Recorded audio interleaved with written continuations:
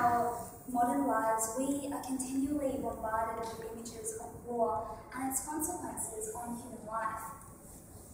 Whether these are images of the war in Iraq, um, the violent destruction caused by exploding bombs in Egypt, or the cries of desperate children left orphaned in Afghanistan, we are compelled to view, bear witness to, and confront the pain of others.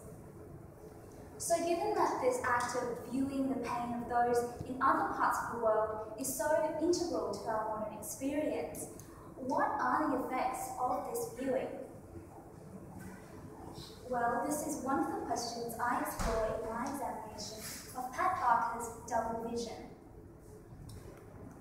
Um, I look at how war is represented, um, sorry, um, more specifically, uh, what are the ethical problems and the social responsibilities of witnessing images of war, violence, and human suffering.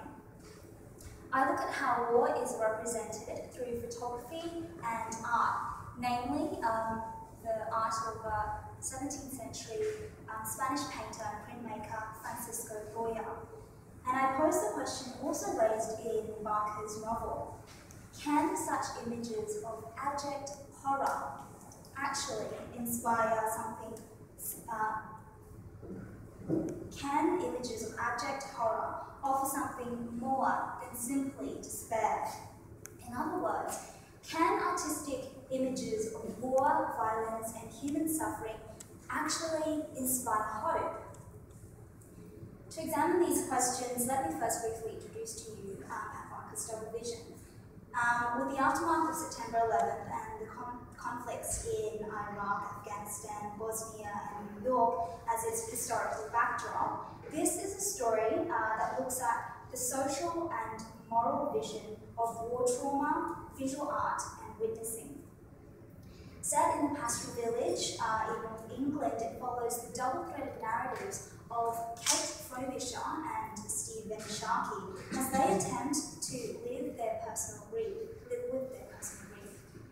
Kate is a widowed sculptor who is recovering from the trauma of a recent um, car accident as well as recovering from the recent loss of her um, husband, uh, war photographer who um, Ben um, Frobisher is a war photographer who is killed in Afghanistan in one of his missions.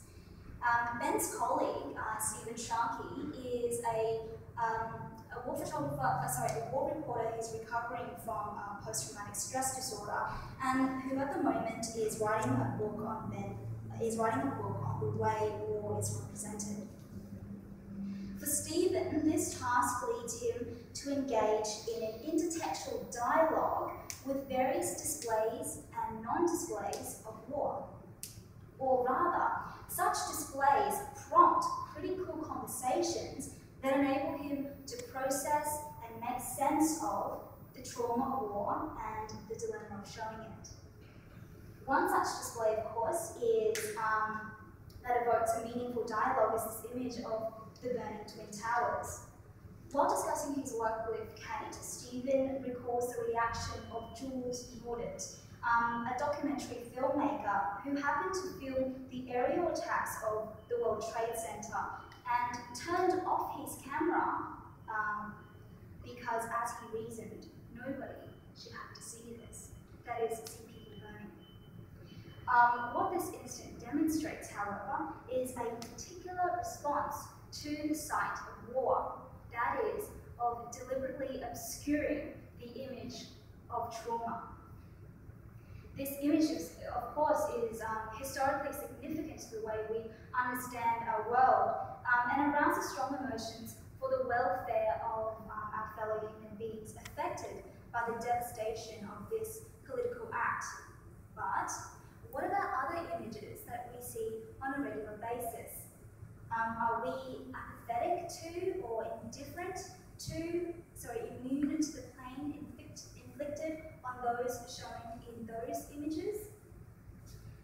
In her book um, regarding the pain of others, um, which strongly influenced Barker's own novel, Susan Sontag elaborates on the problematic capacity of images to objectify um, the far away and sometimes not so far away suffering of fellow human beings.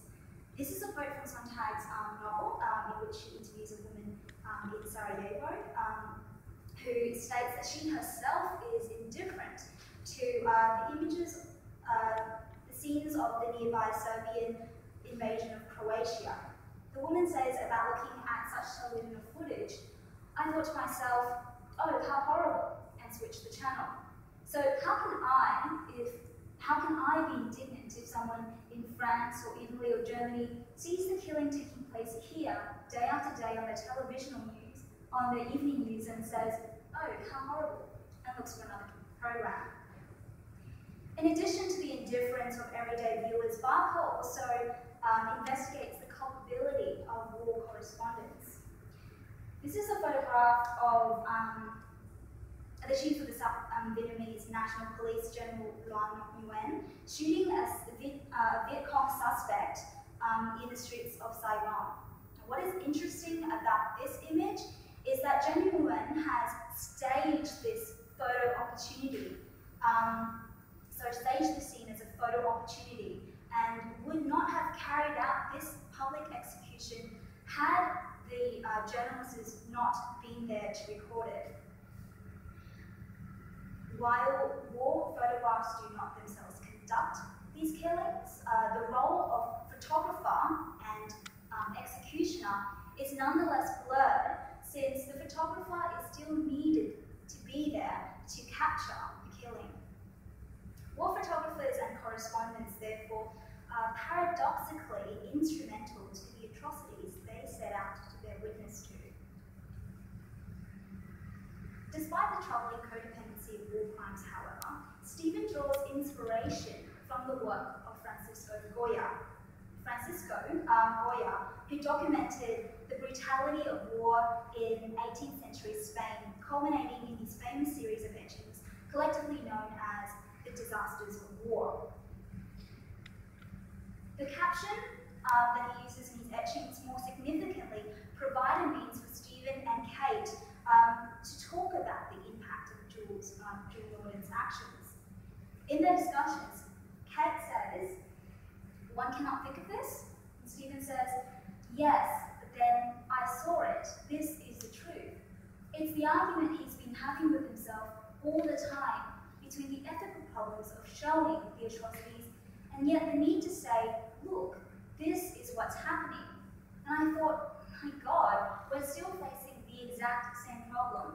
There's always this tension between wanting to show the truth and yet being skeptical about what the effects of showing it are going to be. In the oppositional lines, one cannot look at this and I saw, I saw it. Barker suggests that Goya is indeed alert to the anxiety of sight and yet is able to reconcile the ethical paradox of vision between looking away from and looking at the horror of violence.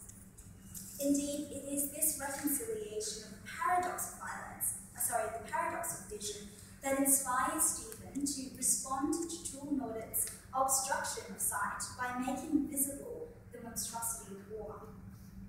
Therefore, despite the, ethical the ethically problematic role of war correspondence or the potential for the images to be misrepresented, or even to incite further violence, there is nonetheless an ethical responsibility, um, as uh, Stephen justifies it, to show it anyway, whatever the doubts, whatever the effects of showing.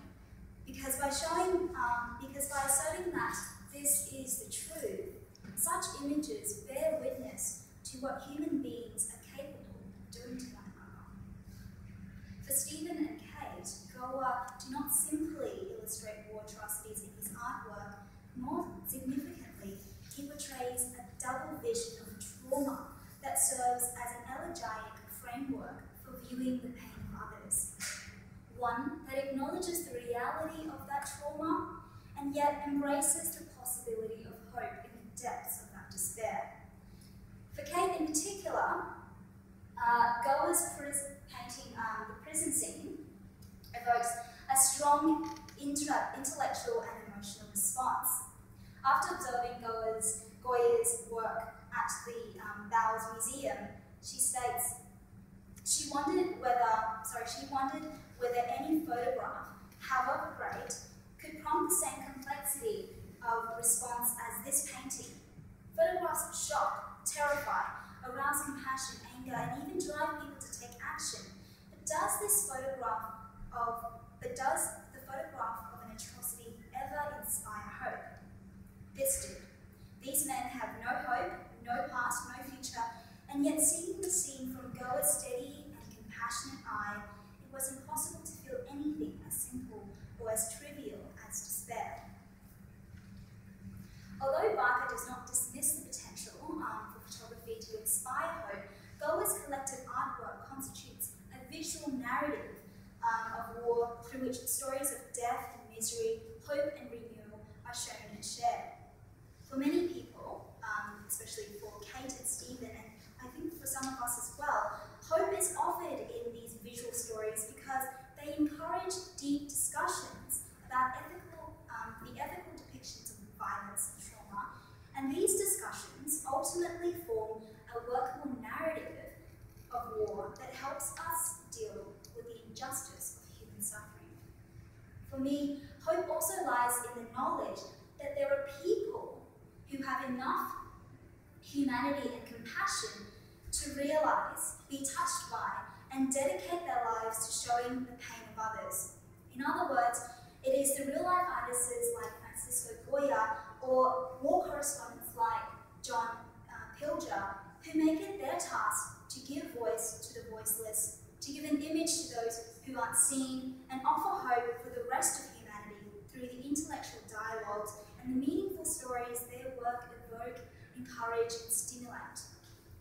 Therefore, as a take-home message, um, these visual narratives of war trauma through art and photography can ultimately offer victims, spectators like us, and perpetrators even, of human atrocity, a means to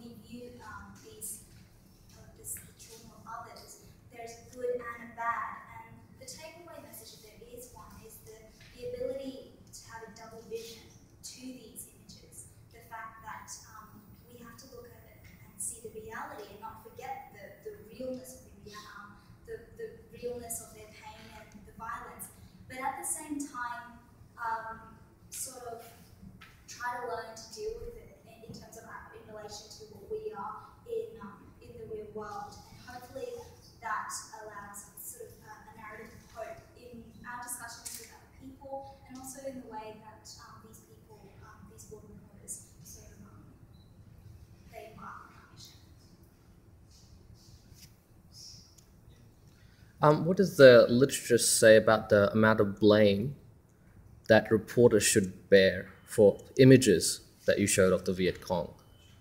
What kind of blame is given to literature, if not in this book, in the literature in general? Um, well, uh, I, can only talk about this book in particular.